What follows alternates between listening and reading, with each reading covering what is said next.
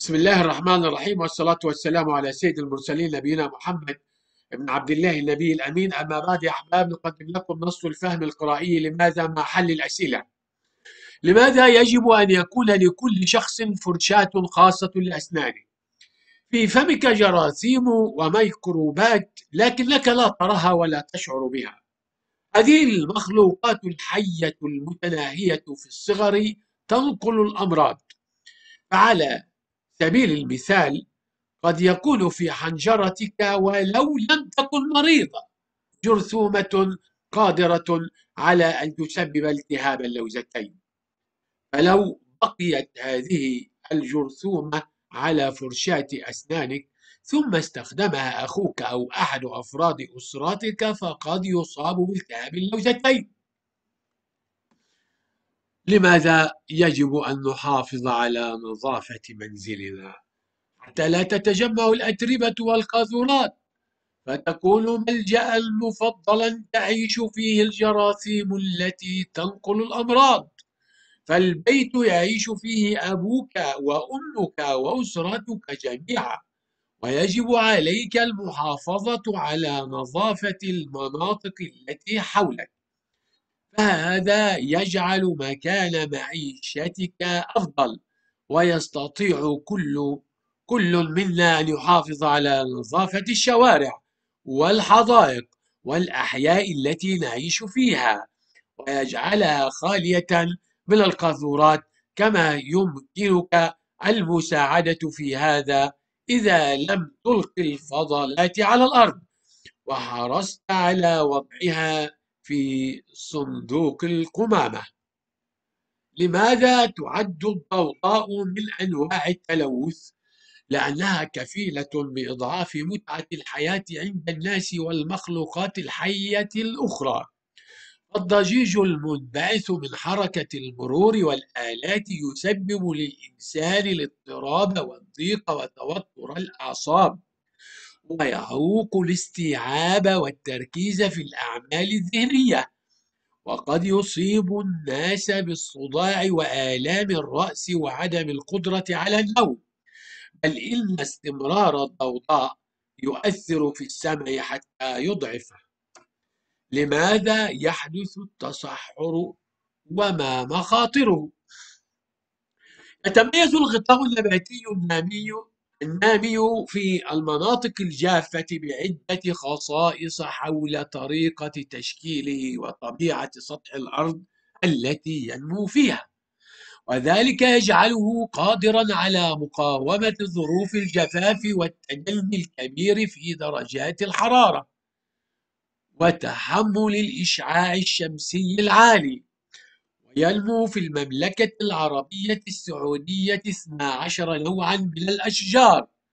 وتساهم هذه الأشجار في حفظ التوازن البيئي وتوفير الغذاء للحيوانات المستأنسة والحفاظ على التنوع الحيوي كما أنها تستخدم للتنزه ولصد الرياح.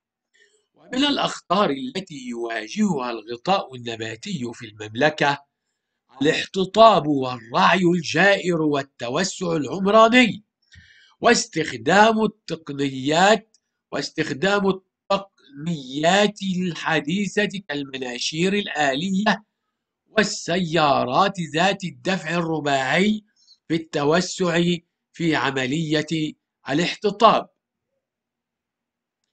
ومن مخاطر قطع الأشجار انخفاض إنتاجية الأراضي من الخشب وتقلص إنتاج الأكسجين وازدياد مخاطر السيول والفيضانات وانجراف التربة السطحية واتساع مساحة التصحر وانخفاض مخزون المياه الجوفية السطحية. أقرأ النص قراءة ثابتة ثم أجيب عن الأسئلة الآتية. أختار الإجابة. الصحيحة من بين القوسين بوضع دائرة عليها. تعيش الجراثيم في الأماكن القذرة. ما الأضرار الصحية؟ ما الأضرار الصحية الناتجة عن الضوضاء؟ الأضرار الصحية الناتجة عن الأضواء الأضواء عن الضوضاء وما أبرز الأخطار التي يواجهها الغطاء النباتي باء وجيم إجابتهم مع بعض وضعتها هنا. تسبب الضوضاء الاضطراب والضيق وتوتر الأعصاب وتعوق الاستيعاب والتركيز في الأعمال الذهنية وقد يصيب الناس الصداع وآلام الرأس وعدم القدرة على النوم واستمرارها يؤثر في السمع حتى يضعفه هذا إجابة الضوضاء. أبرز الأخطار التي يواجهها الغطاء النباتي هذا السؤال رقم ج هذا السؤال رقم ج أبرز الأخطار التي يواجهها الغطاء النباتي في المملكة الاحتطاب والرعي الجائر والتوسع العمراني واستخدام التقنيات الحديثة كالمناشير الآلية والسيارات ذات الدفع الرباعي في التوسع في عملية الاحتطاب.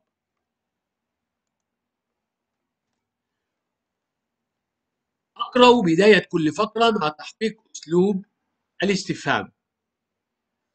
أقرأ ما يأتي مع ضبط قراءته ضبطا صحيحا فالضجيج المنبعث من حركة المرور والآلات يسبب للإنسان الاضطراب والضيق وتوتر الأعصاب. أقرأ الفقرة الآتية مع مراعاة إعطاء الجملة الاعتراضية النغمة المناسبة. وعلى سبيل المثال قد يكون في حنجرتك ولو لم تكن مريضا جرثومة قادرة على أن تسبب التهاب اللوزتين.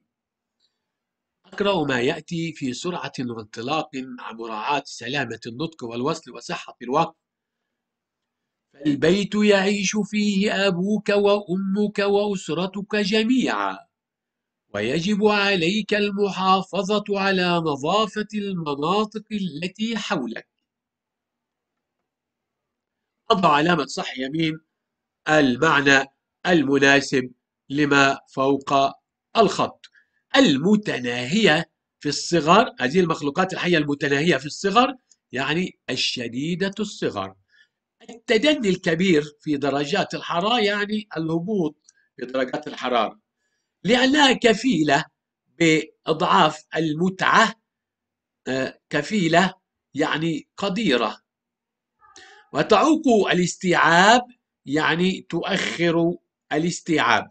تعوق يعني تؤخر.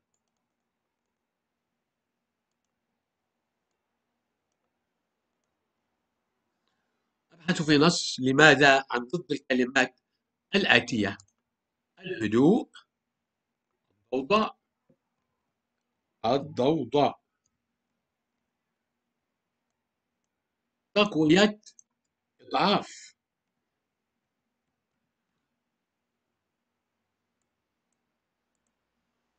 تضييق التوسع.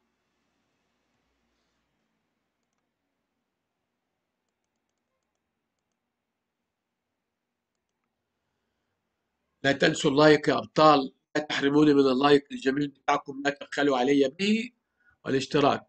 أقرأ الفقرات المقابلة للصورة قراءة صامتة في نص الفهم آه القرائية. أختار جملة مناسبة من كل فقرة لأكتبها تحت الصورة. هو عاوزنا نكتب جمل تحت الصورة. أي جملة من العبارات التي توجد لك نكتبها تحت الإيه؟ الصورة. سنذهب لها في النهاية. أختار جملة مناسبة من كل فقرة لأكتبها تحت الصورة أتصفح النص ثم أستخرج ما يأتي مخلوقات حية متناهية في الصغر تنقل الأمراض هي الجراثيم. الجراثيم. آه، من مخاطر قطع آه، الأشجار.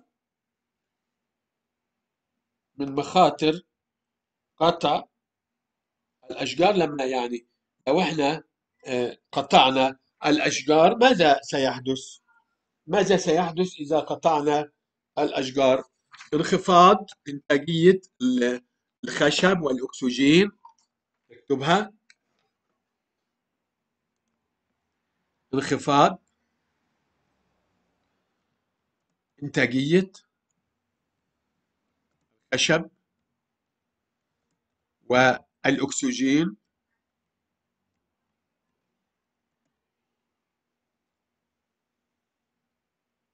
وازدياد مخاطر السيول والفيضانات.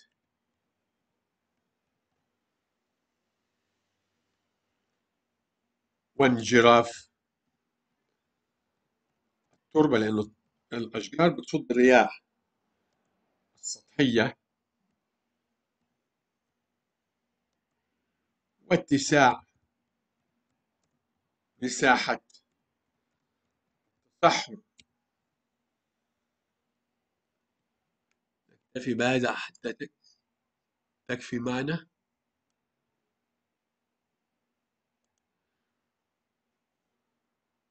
هذا مخاطر قتل الأشجار.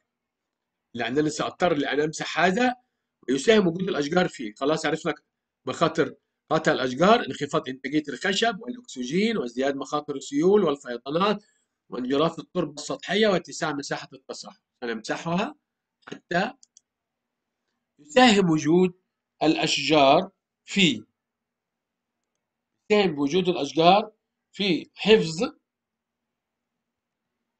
التوازن حفظ التوازن البيئي وتوفير الغذاء للحيوانات المستأنسة يعني الحيوانات التي ترعى على العشب والحفاظ على التنوع الحيوي. وتستخدم في التنزه وصد الرياح.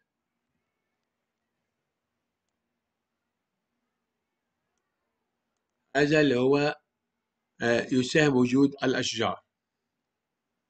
حفظ التوازن البيئي توفير الغذاء للحيوانات المستأنسة الحفاظ على التنوع الحيوي استخدم في التنزه صد الرياح. آه لماذا يجب على الإنسان استخدام فرشاة خاصة لأسنانه؟ لأن الفم به جراثيم وقد تنتقل إلى الفرشاة فإذا استخدمها غيري فقد تنتقل إليه الجراثيم وتصيبه بالتهاب اللوزتين. تصيبه بالتهاب اللوزتين. كيف نستطيع أن نقع أنفسنا من أخطار الضوضاء. آخر سؤال. نبتعد عن الضوضاء والأصوات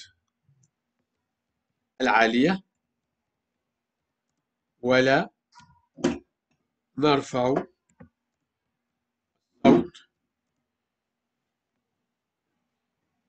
للمذياع أو التلفاز.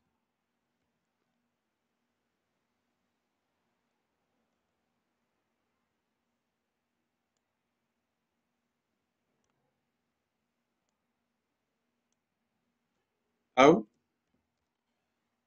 آلة تنبيه.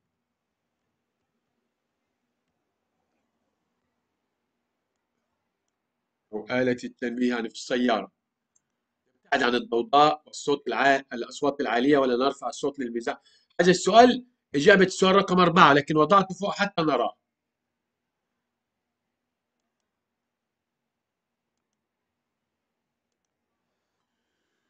تختلف الضوضاء عن بقية الملوثات بما تختلف وماذا تلوث؟ الضوضاء تختلف عن بقية الملوثات لماذا؟ لأن الملوث الضوضائي لا نراه بالعين وإنما هو ملوث سمعي. هذا هو السبب. تختلف لأن الملوث الضوضائي لا نراه بالعين. هنا بيقول لي وماذا تلوث؟ هذا النقطة الثانية.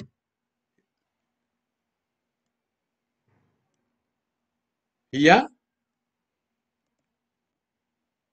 ملوث سمعي. تلوث السمع. تلوث السمع.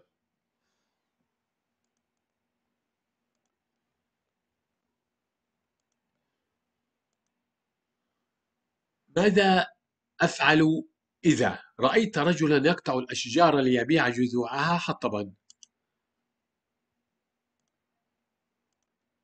أقول له هذه الأشجار تفيدنا جميعا وتعطينا الأكسجين.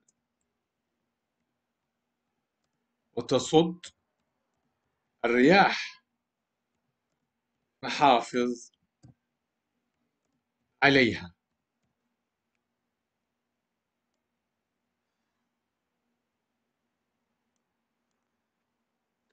رأيت طفلا يرمي القمامة أمام باب الجيران. أقول له ضعها في صندوق القمامة. فهذا خطأ.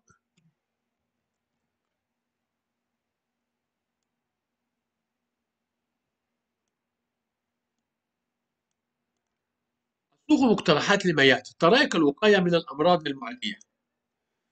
لا نخالط المرضى نأخذ تطعيمات مثلا زي الإنفلونزا الموسمية. نبتعد عن الأماكن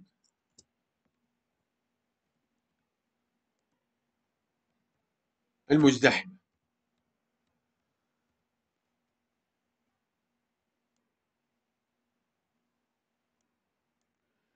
أساليب للقضاء على الحشرات في المنزل.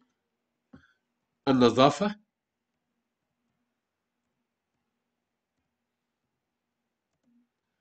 تقصير نباتات. الحديقة لأنها بتساعد على كثرة الحشرات. استخدام المنظفات. والمطهرات والمبيدات للقضاء عليها.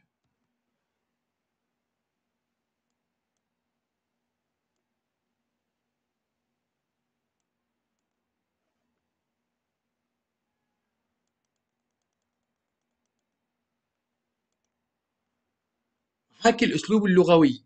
أضع علامة تعجب بعد كل جملة مما يأتي ثم أقرأها. ما أخطر المواد التي تسبب تلوث الأنهار؟ نضع هنا علامة تعجب.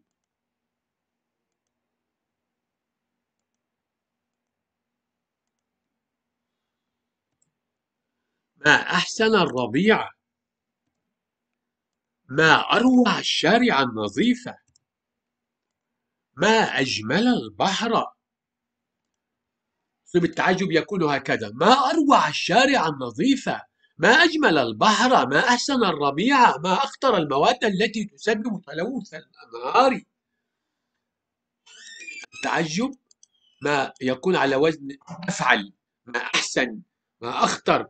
ما أروع. ما أج... كله على وزن أجمل. يدل على التعجب في الكتابة بعلامة التعجب اللي هي واحد وتحت نقطة هذا وفي الكلام يعبر عنه بتعبير نغمة تغيير نغمة الصوت. تغييرا ينبئ عن الدهشة أو الانفعال كما فعلت. أرتب الكلمات الآتية لأكون جملا تحوي أساليب تعجب. يلا ما أجمل ما أجمل وأحط عليها فتحة. ما أجمل الجو الجو ليلا في الصحراء. ما أجمل الجو ليلا؟ الجو ليلا في الصحراء وأحط علامة تعجب لازم عشان تصير تعجب. ما أزكى رائحة الغروب عند البحر؟ ما أزكى؟ أزكى رائحة الغروب عند البحر. قلنا لا نستطيع أن نضع فتحة فوق كلمة أزكى لأن الألف المكسورة تتعذر وجود الفتحة عليها. هي تكون فتحة مكبرة. فأنا نضع علامة التعجب ما أزكى رائحة الغروب عند البحر. التعجب لا ننسى نضع علامة التعجب. اكتب تعريفا مناسبا للبيئة. البيئة. كل ما يحيط كل ما يحيط بالإنسان من أشياء طبيعية مثل الشمس والهواء وبشرية مثل المباني المدارس وغيرها. وتؤثر في الإنسان. ويؤثر فيها الإنسان. البيئة تؤثر فيك وأنت تؤثر فيها؟ أنت تلوث الهواء والهواء يصيبك بالانتعاش. يبقى إذن البيئة كل ما يحيط بالإنسان من أشياء طبيعية وأشياء بشرية وتؤثر في الإنسان ويؤثر فيها الإنسان.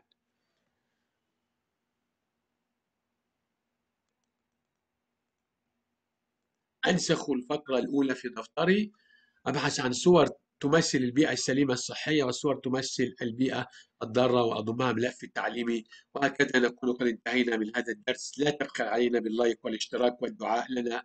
والسلام عليكم ورحمة الله وبركاته.